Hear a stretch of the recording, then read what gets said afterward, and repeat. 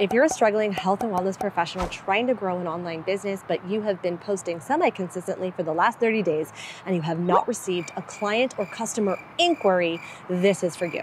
Four common traps most struggling coaches get into without even realizing it. Number one, are you creating content for your colleagues or for your clients? Here's how to know your clients care about the solution and outcome to the problem they're in.